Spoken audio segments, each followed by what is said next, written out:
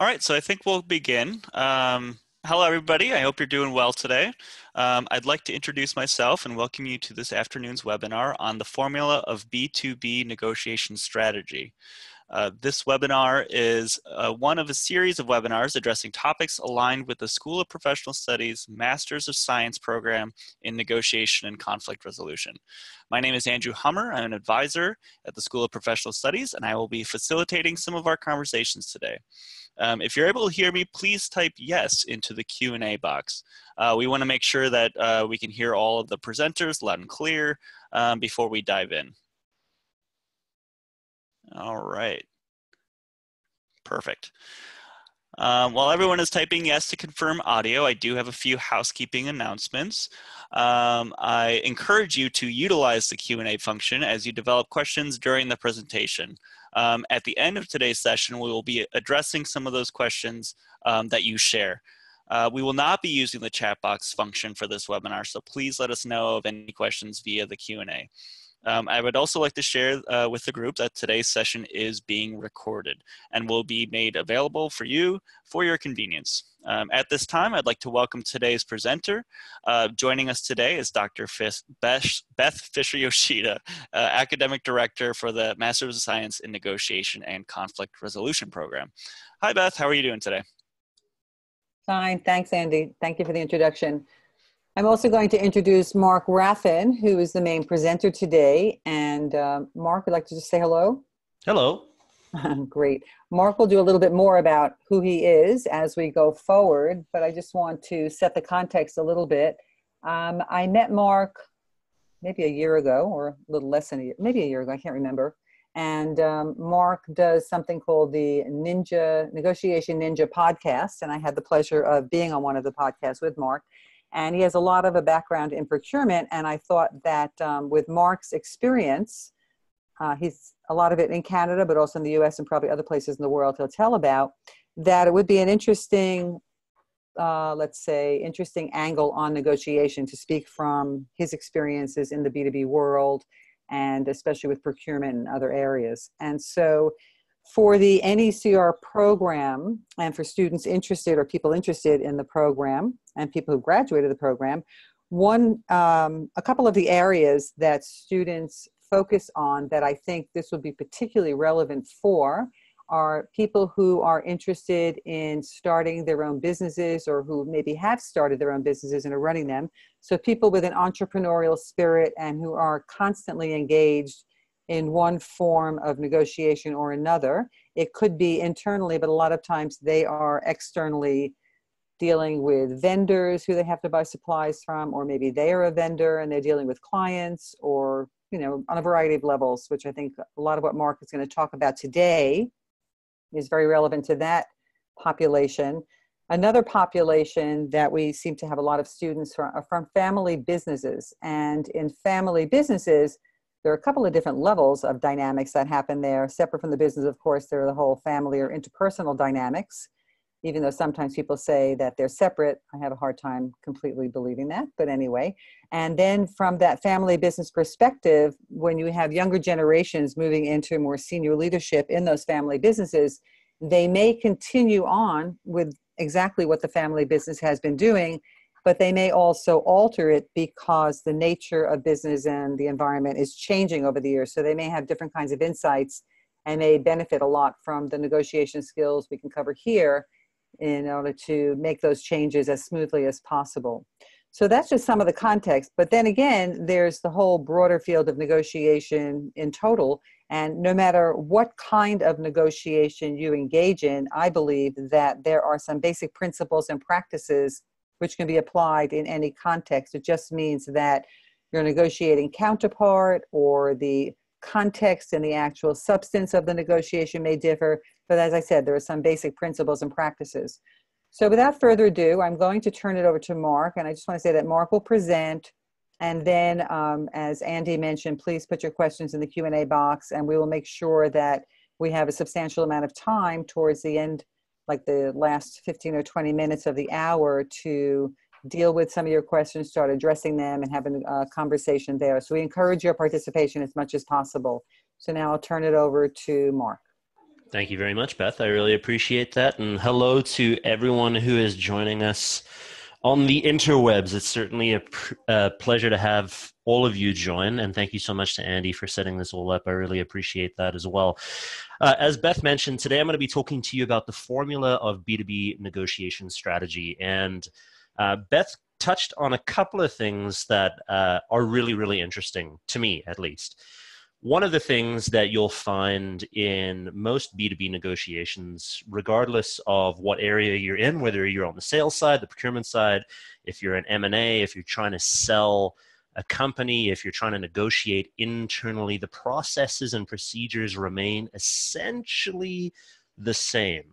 The language that you use may change because, of course, everyone has different needs and different wants in negotiation and that's great but the process remains essentially the same and so today i'm going to take you through a disciplined formulaic structure to negotiation strategy within business to business transactions regardless of what they are um, all of the information that i'm going to be taking you through today is based on my research and some of the works that I've read, obviously, as well as some of the work that's been done um, at Harvard uh, at the program on negotiation uh, with uh, in concert with MIT, which is a fantastic program. What you may know as well, um, if you're already listening to this, is that Columbia University's uh, MS in Negotiation and Conflict Resolution is one of the top master's degree programs in negotiation in the world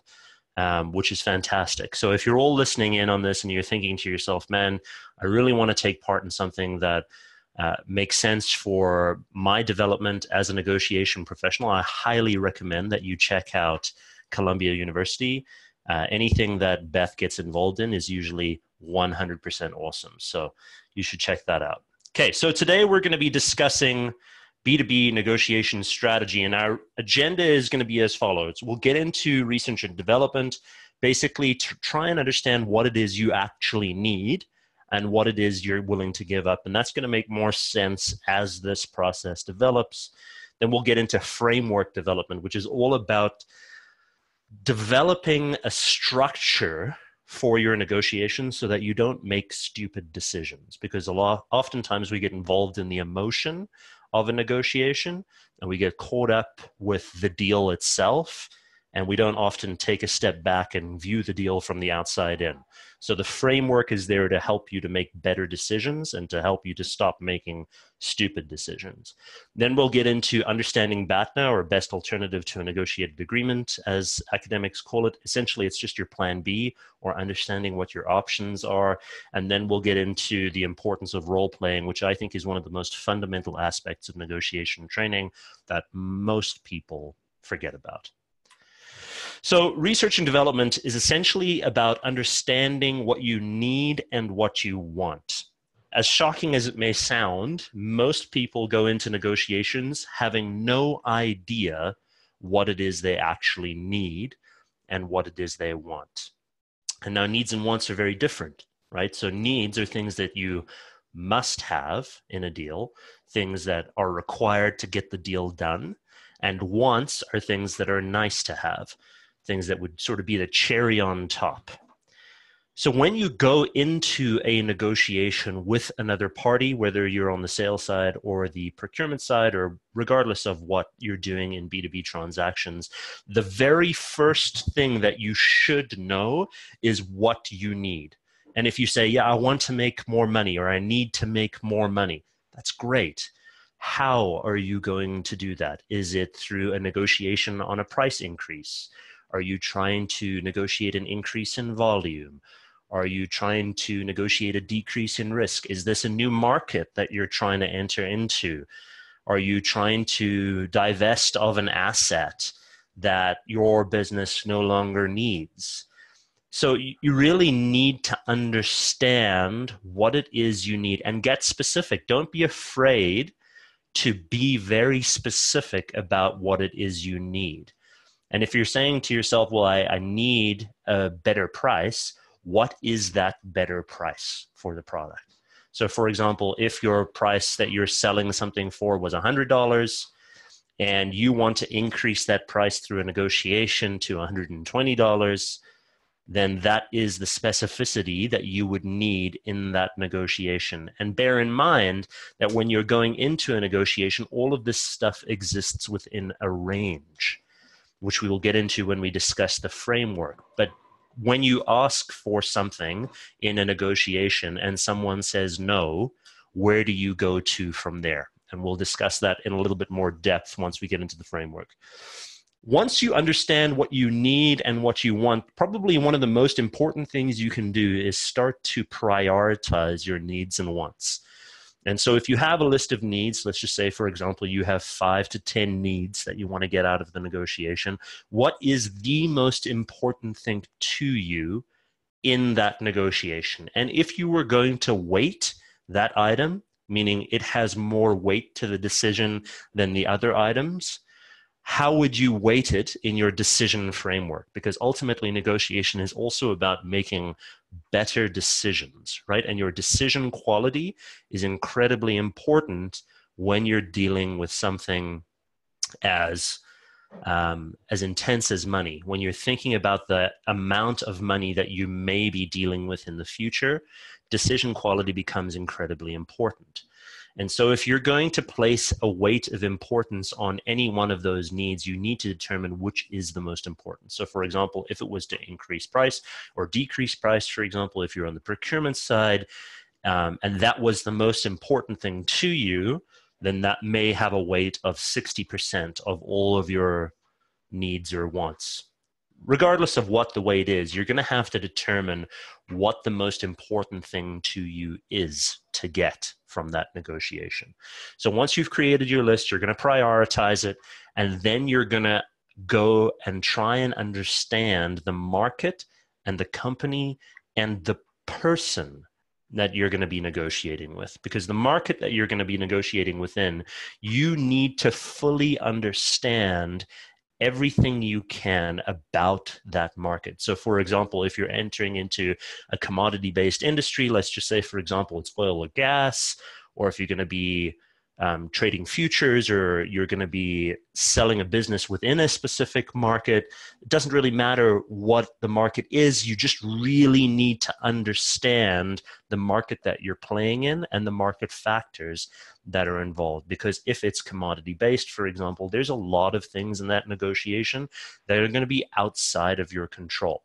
For example, the commodity pricing is generally outside of your control unless you're George Soros and you can dictate the price of commodities across the world, which hopefully some of you are. But if you're not, then you're going to have to try and figure out how to operate within that market and negotiate with the commodity prices at hand. So you can attach prices to indices or whatever you need to do to try and maintain and manage your risk appropriately.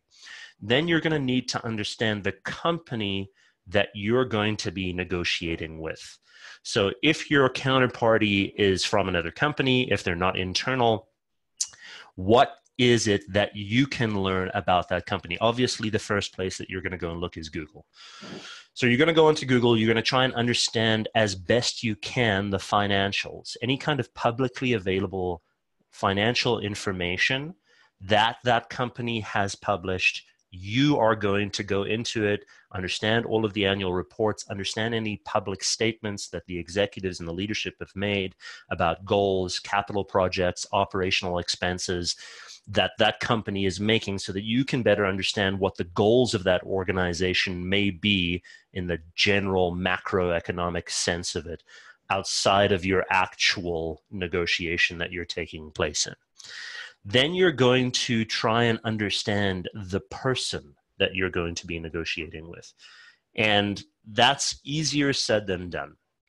Whenever you're trying to understand the market and the company, it's significantly easier to understand those things because you can get, generally speaking, you can get unbiased third party information on those items. Whereas the person comes with its own intricacies or his or, or, her own intricacies.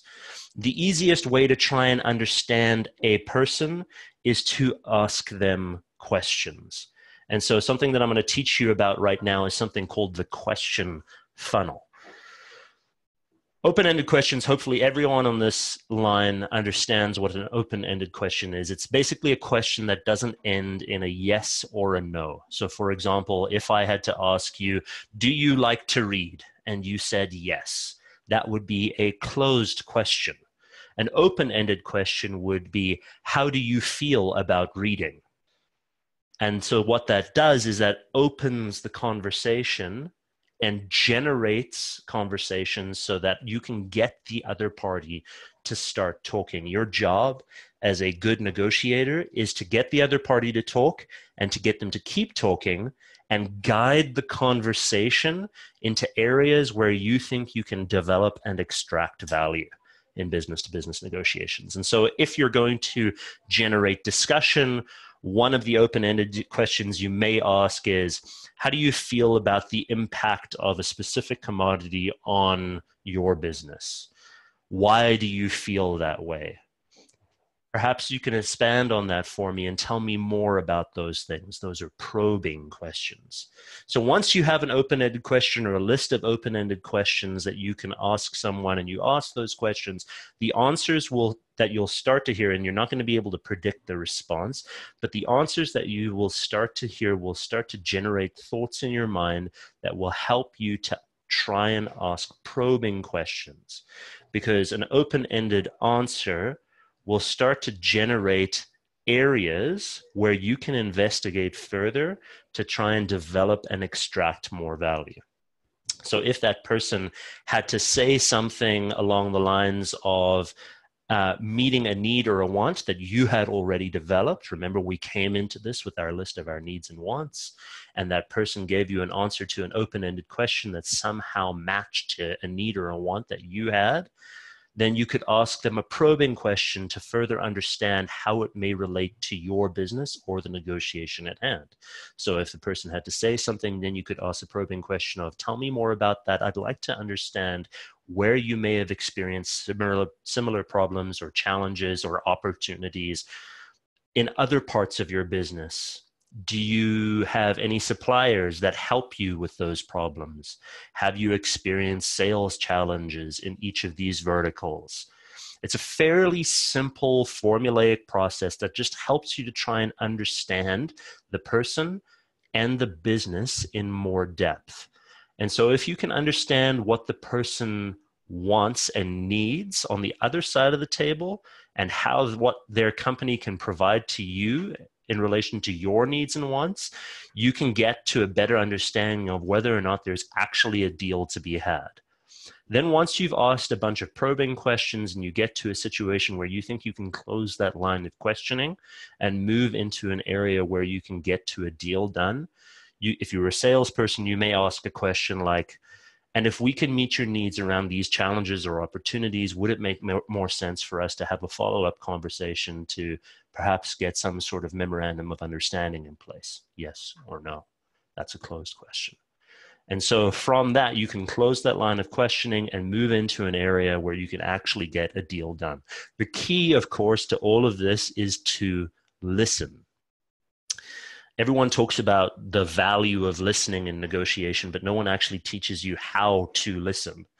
And so, what I want you to start thinking about whenever someone's talking to you and you're in a discussion with someone um, or a negotiation, regardless of what it is, is to stop thinking about your next question focus on what the person is saying to you and what they are not saying to you. So if you've asked a specific question and they haven't answered the specific question, there is something that they are not saying to you. And oftentimes that's equally, if not more important than what they are saying to you.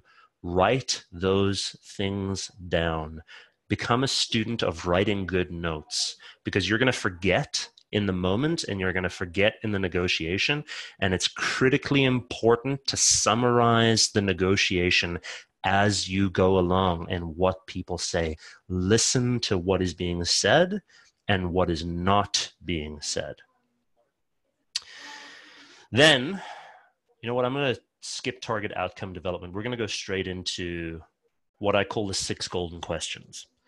So, if you're going to be going into a negotiation with someone, these are basically the questions that I consider to be the six golden questions of any business negotiation. Number one, who is the decision maker? Are you actually negotiating with someone who can make a decision? Or do they have significant influence over the decision being made? Number two, when do you need a decision made by? And number three, which is a very different question, is when does a solution need to be in place? Sometimes people get these two things confused. When does a decision need to be made by? And when does a solution need to be in place are two different questions. The agreement may be executed in three months, but a solution may only need to be in place in six months, for example. So you may actually have more time than you think. And time in a business negotiation can be your worst enemy or your best friend. So it's very, very, very important to understand the amount of time that you actually have to make a decision in a negotiation. The question at the bottom, which is who doesn't want this to happen, I consider probably the most important question to understand. You're going to piss people off and you're going to make decisions and you're going to create agreements that cause people unrest and make them angry. And there are going to be people that don't want things to happen. When you're in the negotiating process, it is critical at the beginning of that process to try your very best to understand who doesn't want the deal to happen. You may be replacing an incumbent service provider, for example, and that incumbent service provider has relationships in the business that you're selling to. And those relationships may have been there for generations. There are going to be people that don't want that relationship to go away.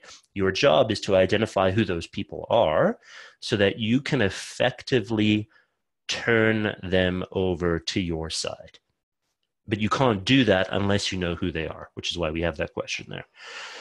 Then the fifth question is what happens if you don't make a decision? Not making a decision is a decision a lot of people don't realize that there is a cost and a risk to not making a decision. And you need to understand from their perspective what the cost and risk is to not making that decision so that if you want to turn them in your favor, you emphasize the cost and risk of not making a decision in your favor. So that's a way you can condition the other party to believe that not making a decision in your favor is a terrible decision. And then ultimately, you need to know how much money is available. It's a very difficult answer to get. Sometimes people don't give away that number, but it shouldn't stop you from asking it, and it shouldn't stop you from asking multiple people those questions. Okay, let me get back to target outcome development. Target outcome development is critical. And when I say target outcome, you, you must have a target in mind when you're going into a business negotiation. There's obvi- obviously a most likely point where you're going to end up in the negotiation. What is your target? Now, that's not your best case scenario, and it's also not your worst case scenario, whereas academics would call it your reservation point, the point where you walk away from the deal. So you've got to have something in mind where you think you're most likely to end up. And last but not least, in research and development, you have to understand what you're willing to give up. Um, for a lot of people, this is actually really difficult because we don't go into a, a negotiation thinking we're going to give up anything. But you're going to give up a lot more if you don't plan for it than if you had planned for it. So, understanding what you're willing to give up and being objective about it is very, very important throughout the entire negotiation because if you don't plan it and you don't understand how much something actually costs when you give it away, you could be giving away something that's significantly more valuable than you think it is, or the other way around. You could be giving away something that's less valuable than what you think it is and getting something that in return that is worth nothing. You should never give away anything in a business negotiation unless you are receiving something of equal or greater value in return. People often talk about compromise being fair. Compromise sucks. Compromise is the worst thing ever. The definition of compromise means that two parties make a concession on a specific point to move the agreement forward. how much sense does that make? That doesn't make any sense at all. So if you're going to give something away, make sure that you get something else in return for it. Because if you're not going to get something in return for it, then you've basically just made a concession with with no value attached to it. And you could be giving away something that's incredibly important to making the deal work. Okay. Let me get off my soapbox real quick. Moving on, framework development. Framework development is what's going to create discipline in your process. Basically, it it causes you to slow down, which is really, really important. So remember earlier on, I said you need to understand what your needs and wants are. And now we have a column for that. So prioritize needs and wants in the left hand column. Your worst case scenario, oh, spelling error. Look at that. Your worst case scenario is your reservation point. If if you've been in negotiation uh, academia for a while, you understand that your reservation point is the point where you need to walk away. So, what is your walkaway point in the negotiation? You must have a very clear understanding of walking away.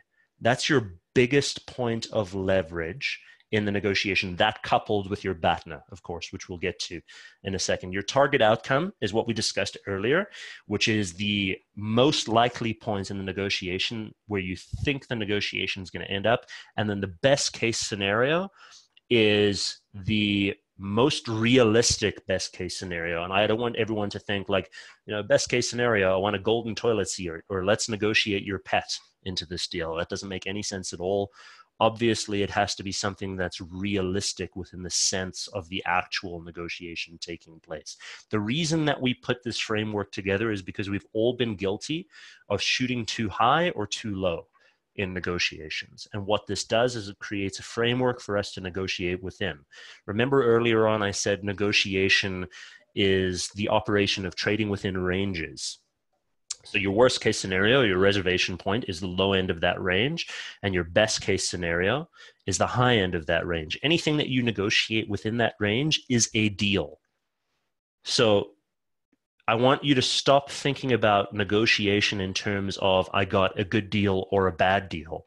If you're operating within the framework and you get something that makes sense within the riverbanks, basically your low end and your high end that you've created, then that is a good deal because you haven't made a decision that basically forces the company to lose money, which is lower than your reservation point and you haven't gotten into a situation where you're trying to be greedy higher than your best case scenario and you're taking money out of the pockets of the person that you're actually negotiating with. So you're making a deal that makes sense.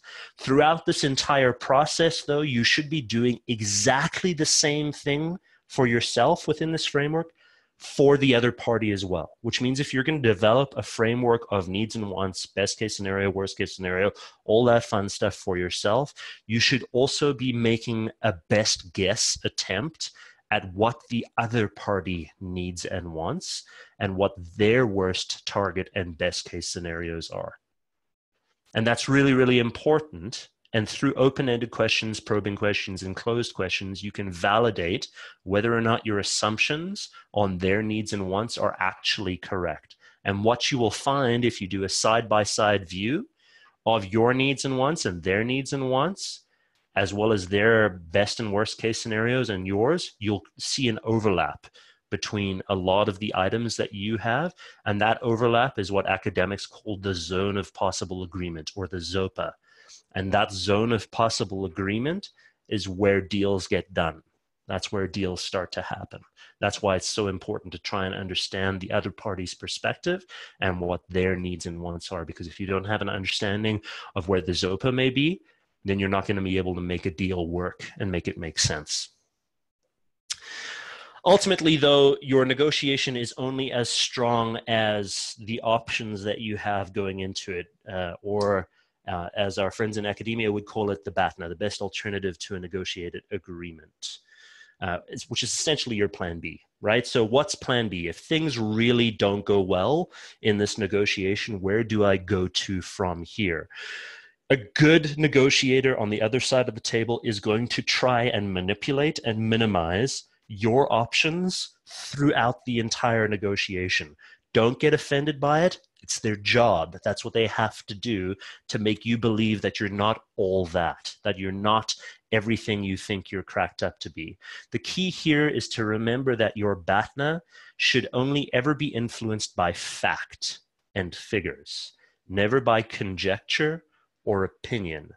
As the negotiating party on the other side of the table, it's my job to have opinions and conjecture about what I think this negotiation should be about, what I think the competition should be about, what I think you should be about, and how important I am to making you realize your goals. If I can condition you to believe that I'm significantly more important than I actually am, and if I can condition you to believe that you're less important than you actually are, and that there's lots of competition and I actually don't need you, then all of a sudden you become more desperate to make the deal with me because I am raising my perceived value in your eyes and I am lowering your perceived value in your own mind.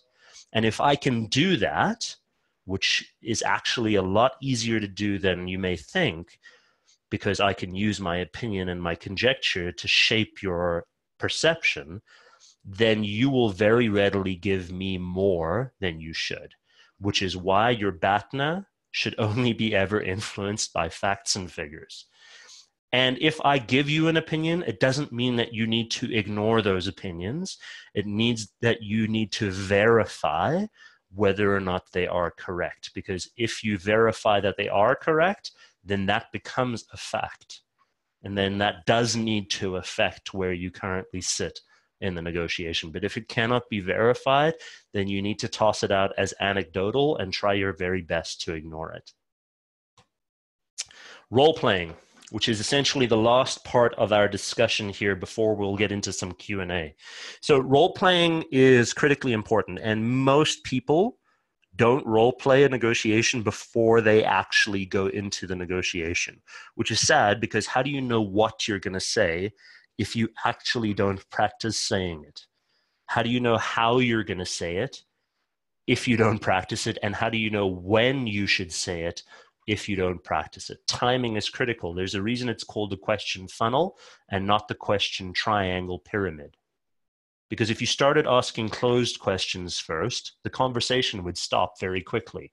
And your timing for your questions and your negotiations would be thrown off completely, which is why we ask open ended questions first, and then probing questions, and then closed questions. Ultimately, the biggest question that we want to answer, though, behind role playing, behind what, how, and when, is why. Why are we saying what we're saying? Why are we saying it that way? And then why are we saying it at that time? The question becomes what response are we trying to elicit from the other party by saying those things in those ways? Only through role playing with people in our organizations can we truly understand whether or not our questions and our statements are going to be effective. Because if you go in thinking that you're going to knock the negotiation out of the park and you're going to get everything that you wanted to get and your timing's off and what you're saying is, um, is nonsense and how you say it is terrible because your intonation on the questions is totally wrong and your confidence is bad then you're not going to get what you want or need out of that negotiation because essentially what you're doing is you're painting yourself into a corner because you haven't practiced.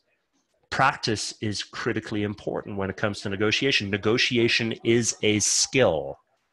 Like every skill, it requires practice for you to get better. And if you're not going to practice, you will not get better, which is why it's important to role play. So, in conclusion, you need to know what you need, which are your must haves, and want, which are your nice to haves. Without knowing what you actually need from the negotiation, you will not get something that requires the deal to be done. You need to know what you're willing to give up. So, what are your concession items? What are you actually willing to give up? And objectively, what are the cost of those concessions? So if there is a concession that you need to make on a limitation of liability within an agreement, what is the cost of that concession of that liability, right? If you're going to take on more risk in that deal, what does that risk actually cost? And if you're going to give that away, if you're going to take on that risk, then you had better be getting something of equal or greater value in return. Otherwise, that concession does not make sense. Then build a roadmap, right? We went through the framework. You're, you have to have a reservation point. What is the point you're willing to walk away? You have to have a high end because you don't want to seem too greedy. And we could get into an entire discussion about bracketing and how how much is too much when you ask for things. We won't we don't have time for that today but know what it is you're you're operating within. What's your low end? What's your high end? And then any deal made within that based on your needs and wants is going to be a deal. Know your batna. What is your best alternative to a negotiated agreement? What is your plan b? You should be putting in as much work into your batna as you are into your actual negotiation, especially if it's a time bound project. Because if you get to a point where the deal with your primary negotiating party isn't going to work and you have to move to your BATNA and you've got to start from square one on understanding the needs and wants of the other party again, you're going to be in a position that doesn't allow you to make a good deal based on the timelines that you have. And then ultimately, which is the most important point here, is practice, practice, practice. Practice is the mother of all skill. The more you practice, the better you're going to get a get in everything that you do, not just negotiation. Because negotiation is a skill, it requires practice, which is why you're all here today, because you're either in the master's program or you're thinking of going into the master's program. So I don't need to convince you on the benefits of studying more about negotiation. The key here is to practice. You can read as much as you want. I could teach you as much as you want. Beth could show you everything you need to do. But if you actually don't implement any of the stuff, it's useless. You've wasted your time and you've wasted your money. So practice, practice, practice in everything that you do. That concludes our chat for today. Uh, thank you so much. I really, really appreciate it. I've Thanks. kept you for a very long time, but I'm sure there's some questions. Yeah, thanks, Mark. I wanted to reflect on a couple of things that you said first, and then we can. I see we have at least a few questions in the chat box, in the Q and A box. So, um, when you showed the uh, six golden questions, what it prompted to me too is that we prepare for a negotiation hopefully, right? Because some people use the strategy of winging it, which I always say is not a strategy. Yeah. So you prepare for a negotiation, you try to find out as much information as you can.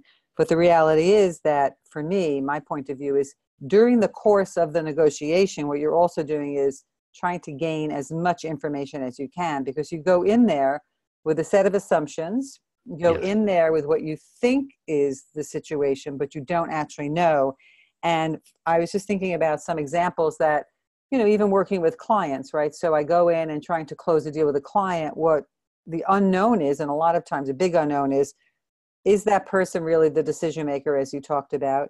And then I've had situations where the person who I'm speaking with really does not have the authority to do what they say they're doing. And in some situations I've been in, that person ends up leaving the organization. So really has unknown information to me knows information that they may be can't disclose but i'm there with a certain kind of intention and they're there with a different kind of intention because they're not really going to be there. So what i always say is since we don't know the bigger context like you're talking about sometimes they have an incumbent vendor or somebody there who's already been servicing that particular organization.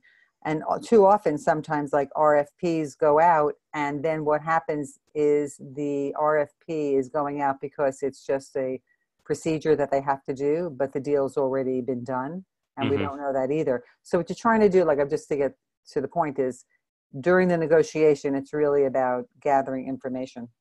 Yeah, absolutely, and and validating your assumptions, right? You, mm-hmm. You're for sure going to have to try your very best to make the most educated guess you can about their their position and their interests in the mm-hmm. negotiation but you're doing yourself a disservice if you don't try and validate those assumptions. Right. And I also um, like very much what you're saying about not only the preparation, but also the practice part. Because a lot of times, conceptually, we have the information in our head and it's not rocket science. It's like, of course. But what we don't have is we haven't transitioned it down from our head and internalized it so that what comes out of our mouth really is something that we want to come out of our mouths. So yeah. what you don't want to do, and I get it, it doesn't mean that you have to have a pat answer for everything. It doesn't mean you're going to be super articulate in every moment, but it does mean that you have to have some stock phrases that even buy you time if you do get flustered or that open up. So you're talking about probing questions. So what I think, and I also recommend and do, is in a negotiation, I have one or two probing questions prepared for any situation. They're just generic. Like, can you tell me more what you mean by, and then whatever it is that they, and this gives me time to maybe deal with my emotional reaction to things, deal yeah. with maybe being caught off guard, or just, you know, just to buy time and sort of, and then to get more information, level the field. So you can't always have that ready if you haven't practiced and been in a situation because you don't know what's going to come out of your mouth. That's right. And if you think you're going to remember before going in, you're sadly mistaken because you're going to get caught up in the emotion of the negotiation and you're going to forget. Mm-hmm. And it's my job as the counterparty to help you to forget. right. And to get you as flustered as I can, get you to sign that deal and walk away and say, What have I done? Well, yeah, or just basically agree with everything that I'm saying as a matter of fact, when in fact it may just be opinion. Uh, it's sort of like, you know, buyer's remorse, and you go home and you say, Why do I have that red sports car in my driveway? so I'm just going to read a question here and then we'll deal with these. So, one question is What are some techniques to contain the heat in a negotiation when party perceptions and unfounded assumptions cloud the path to an orderly negotiation process? So, it's really about the whole emotional component in a negotiation.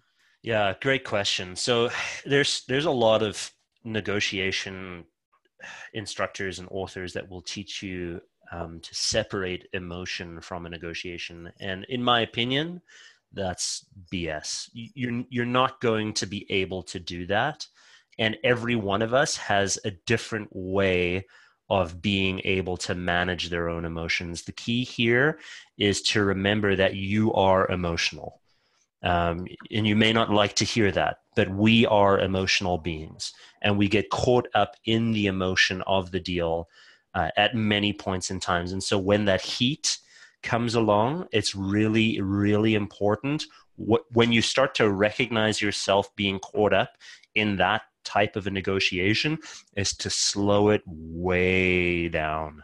Don't get caught up in the heat. Don't get caught up in the emotion of it.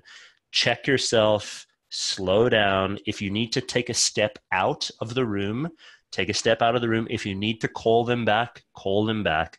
No one's going to get mad at you for taking time out to make a good decision. Just take the time that you need to slow it down and remember where you are and what it is you're doing, which is why preparation is so important. So you can actually go back, check your notes, check your framework, understand where you actually are in the negotiation, understand your BATNA, whether or not you're being influenced by fact or opinion, and then go back into the negotiation. But it comes down to a lot of it comes down to self awareness, um, and that only comes through practice. Yeah, I just want to piggyback on what you're saying is that we don't realize how fast everything happens and slowing things down may feel really slow to us, but it's a really necessary pause. And the idea of stepping away is you, what you're also doing in that action is you're breaking the rhythm the other person yes. has established. And so the other person's got you in a little bit of a tailspin. And so if you just don't slow down, you just react immediately and then you say, oh no, what have I done? And so being able to break the pattern or break that rhythm is really important because when you take that pause and you leave and then come back into it, then you're coming back with a fresh start. So that's really that's good. Right. Okay, we have another question here. Greetings from Uruguay. What happens when you make concessions now to get something in the future? Does that work? Uh, This is a really good question. So I get I, I actually get asked this question a lot. So what you're essentially doing is is you're you're putting a lot of trust in that person to reciprocate. And I mean there's a lot of studies that have been done over the power of reciprocity. Um, and if you do something for someone, they're significantly more likely to recipro- uh, uh, be to reciprocate the favor back to you and and and yet i am very cautious about what i am willing to concede uh, if i'm not getting something of equal or greater value in return in the negotiation that we're having. Because by making for example a supplier making a price concession uh, based on the promise of potential future work that very rarely comes to pass I would almost have something in writing at that point that allows you to to go back to. Um, I I understand that there's a bunch of theories around reciprocity that make a lot of sense. I'm not 100% sold on that, so I, I would just say use your best judgment there, and and if you're going to trust someone, just make sure that they are trustworthy. Um, remember, people are operating uh, for other businesses, not necessarily for themselves. So you can't really blame the person if that doesn't work out. You you can blame the organization, but they're just filling their role. So just be very wary about where you place your trust in the negotiation. Yeah, I'm also thinking about when people accommodate to others because yeah. they think it buys a better relationship. So um, that's an assumption, right? And that whole dialogue has taken place in your own head that if I do this now, he'll do this later. When in actuality, if you don't have that commitment, so I still do sometimes err on the side of being able to uh, do do some kind of concession. But then this goes to something else you said earlier, Mark, about the whole preparation and what are you willing to give up. So, in that preparation part and what are you willing to give up, you know what concessions you're willing to make that would be less harmful to you than some serious concessions. So if doing something, giving up a concession that's not that bad for you, but buys a better relationship and develops that kind of rapport, then that's okay. But I wouldn't give a concession that's really serious when you have no commitment for future engagement. Yeah, you've got to get that commitment. Mm-hmm. Okay, another question is Do you think it's useful to ask the source for facts when the other negotiator is making bold assumptions? Uh, Great question, and yes. So, for example, if a sales, if you're negotiating with a sales organization of um, a company that you're is the other party, the counterparty, and that counterparty says, you know, we're the best provider of widget X. Your very first response should be, it sounds like you're prepared to provide data to support that claim. Mm-hmm. Don't just take what they say as face value because their job is to sell. And that's not their fault. I mean that's their job. But they need to be willing to provide data to support those statements. Otherwise it has to be anecdotal. Or you've got to be the one that has to go and then validate whether or not that statement is correct. Is it factual? So yes i absolutely would say provide data to support that statement and the way you're saying it, Mark, is that you're not saying it to the other side, show me, prove it to me. It's not a threat. It's just, okay, that's a pretty bold statement. Do you have some data to support Absolutely. That? Yeah. And it and it could be phrased as a question, right? So mm-hmm. thank you so much for sharing that information. I didn't know that you were the number one. Perhaps you could share with me um, some data to support that. As you know, I'm learning about this process as well. And you could always almost take the Columbo approach to that and get them to answer the question for you. Um, and then you've caught you've caught them basically in a situation where they've they've lied to you, um, and you've caught them in a lie, but you haven't accused them of lying, which is a fun situation to be in. Yeah. So just for people who may not know who Columbo is, it was a television program with Peter Falk as the main actor of Columbo, and he looked like a fumbling detective, but he was very, very skillful in getting the information he wanted, and he always managed to get the person who did it to confess. Okay, another question. What are the best techniques to make good practice? Is it something possible within the working environment with colleagues, or should it be tested before stepping in? Yeah, absolutely. So I, I definitely think you need to be practicing this with your colleagues within your department. Um, and and if anyone's been in the military, there's there's a concept called red teaming as well. So you could practice with friendly people in your department, and then bring in um, someone who's maybe designated as the person who's just going to be a jerk in a negotiation, and practice it with that with that person who's been assigned to be the jerk, because it's important that you understand where your weak spots are in your negotiation and you're only going to find that out if you get someone who's going to push your hot buttons and get you into a situation where you're going to get flustered where you're going to get red faced where you're going to get offended that's really important to know where your limits are so that you can know before going into the negotiation where you may need to stay, take a step back mm-hmm. Yeah, I'm thinking about a time when um, I was coaching somebody and also preparing the person for having a negotiation with her boss. And one of the interesting things is that, you know, you talked also, Mark, earlier about self awareness, we have an opinion and a perception of how we are and how we show up and how people perceive us.